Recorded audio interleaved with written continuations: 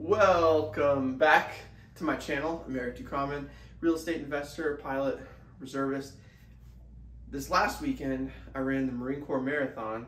My legs are still sore right now, but I had some thoughts that are very important that I wanted to share with you.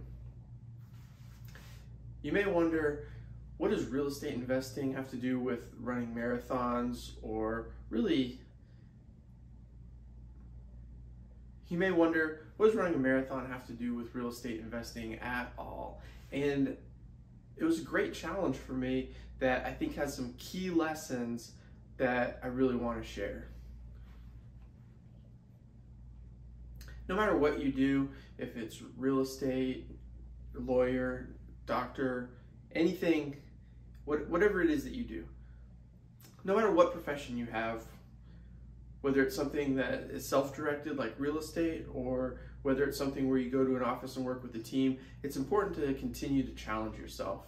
So the first lesson that I learned from running the Marine Corps Marathon was it added a new perspective to the importance of having great high quality friends.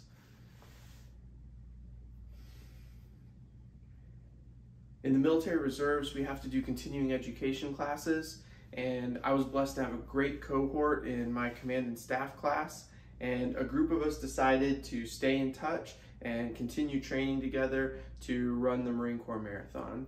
So anytime that you have high quality people in your life, it's really important to work to, to keep those people in your life because they're going to continue motivating you to do better, to work harder, and to achieve new heights that you didn't think were possible before.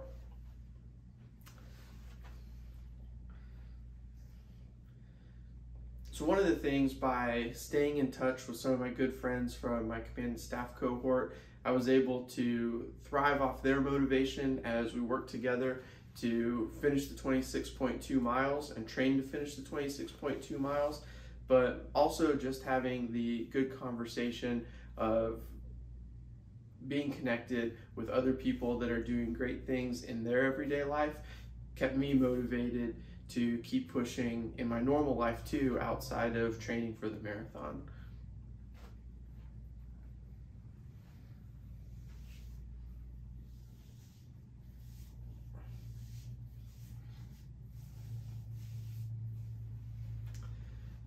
Another thing that training for the marathon really helped with was keeping a long goal, keeping the focus over the horizon.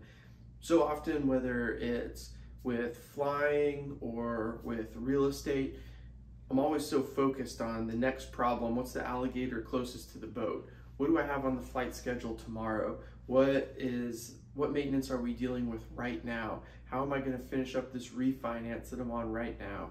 But training for a marathon gave me something that was when we first started training, at least you know seven months out, that every day when I woke up, I wasn't just worried about today's run plan. I wasn't just worried about you know tomorrow's run plan. I was thinking about that marathon seven months in the future and then six months, five months, four months as it got closer and closer. I had that long goal that was why I was doing what I was doing every day. And that helps reorganize some of your perspective in your regular life too. So, you know, why am I waking up to go on this flight schedule tomorrow? Why am I doing maintenance on these houses right now? Why am I refinancing these houses right now? Because I had that long goal with the running training. So why don't I have the long goal with my everyday work that I'm committed to? So having the having the run to prepare for helped me mentally refocus and recage on some of the things in my everyday life and put a longer perspective on those things.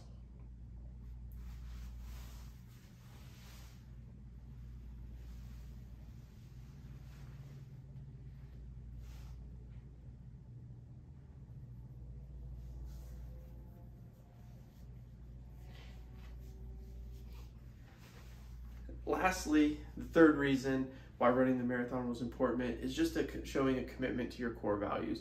One of my core values is I love traveling. That's why I'm an airline pilot. That's why I stay in the Marine Corps Reserves. I love the freedom of going new places, meeting new people, seeing new things, and committing to a marathon in the most American city, either DC or Philadelphia, but I'd say DC is probably still like the most American city, um, was a commitment to travel, uh, to get out and see some friends that I hadn't seen in a long time, reconnect with great people, not just that were running the marathon with me, but other friends from the Marine Corps, and getting to spend some time in America's City.